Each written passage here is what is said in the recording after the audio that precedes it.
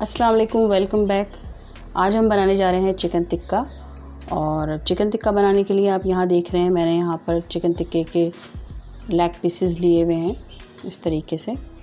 और आप लोग ले सकते हैं, जितने चिकन टिक्के आप लोग बना सकते हैं, लेकिन यहाँ पर मैं ले रही हूँ तकरीबन सिक्स पीसेस चिकन टिक्के के, और मैंने इस तरीके से उसको कट्स लगा लिए हैं. और ये कट्स इसके बहुत इंपॉर्टेंट होते हैं, क्योंकि आपको पता है कि जब भी हम मसाला लगाते हैं तो उसके अंदर कट्स होंगे तो ये अंदर से इसके अंदर फिल हो जाता है और उससे टेस्ट बहुत अच्छा आता है। तो चलें, अब हम इसको स्टार्ट करते हैं। इसमें हमें क्या क्या चीज़ों की ज़रूरत है? सबसे पहले हम यहाँ पर यूज़ करेंगे चिकन टिक्का मसाला और ये तकरीबन 40 ग्राम्स है और इसकी वीडियो मैं पहले बना चुकी हूँ चिकन टिक्का मसाले की। तो डिस्क्रिप्शन में आपको इसका लिंक मिल जाएगा तो आप वहाँ से भी ले सकते हैं जो मैंने इसमें मसाले यूज़ किए। इसके अलावा आप कोई भी पैकेट का मसाला भी यूज़ कर सकते हैं चिकन टिक्के के लिए। तो यहाँ पर मैं ये यूज़ कर रही हूँ फोर्टी ग्राम्स ऑलमोस्ट फाइव या फोर टेबल स्पून के करीब होगा। इस मसाले को हर तरीके से आगे पीछे सब तरफ़ उसके कट्स जो हैं, उसके अंदर बाद में हाथ से अच्छे तरीके से मसल के लगाइए। सबसे पहले अभी मैं सब तरफ़ कोट कर रही हूँ मसाले को। आप अपने टेस्ट के मुताबिक इसको थोड़ा ज़्यादा भी यूज़ कर सकते हैं, जैसे कि ज़्यादा अगर आप मसाला पसंद करते हैं तो कम या ज़्यादा आप कर सकते हैं। थोड़ा सा फ़ूड कलर भी हम यूज़ करेंगे कलर के लिए। पिंच के करीब है या क्वार्टर क्योंकि आपको पता है कि चिकन टिक्के का कलर बहुत ज़्यादा ऑरेंज सा होता है तो वो ज़रा कलर देखने में अच्छा लगता है। इससे टेस्ट पे कोई फ़र्क नहीं पड़ेगा, लेकिन इससे कलर अच्छा आएगा आपका। तो मैंने तकरीबन हाफ़ टी स्पून के करीब ये फ़ूड कलर यूज़ कर लिया है। लेमन जूस हम यूज़ करेंगे यहाँ पर। तकरीबन जितनी ज़रूरत होगी, मैं तकरीबन चार से पाँच टेबल स्पून के करीब यूज़ करूँगी। तो लेमन जूस हम इसमें ऐड करते हैं।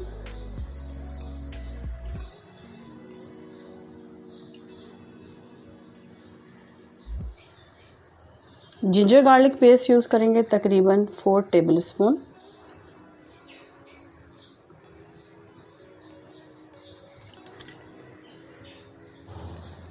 अब इन सब चीज़ों को मसाले को अच्छे तरीके से पीस के ऊपर चिकन के अच्छे तरीके से मिक्स करते चले जाएँ और ये जो इसके कट्स हैं, इसके अंदर मसाले को अच्छे तरीके से भर दें।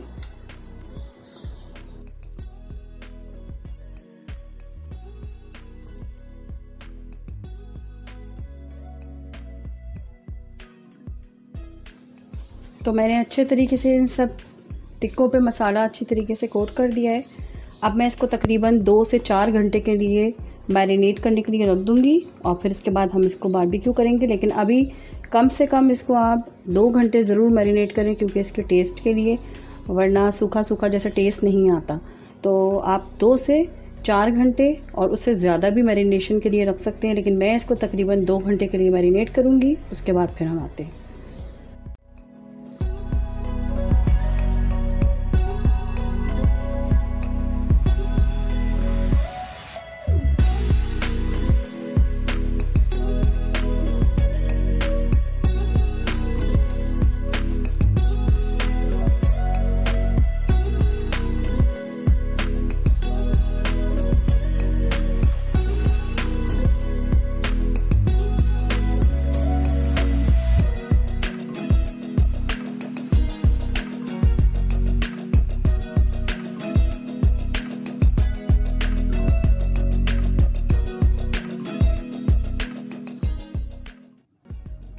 देखिए हमारे चिकन टिक्के बन गए हैं और आपने देखा कि नहायत ही आसान तरीके से हमने इसको बनाया है।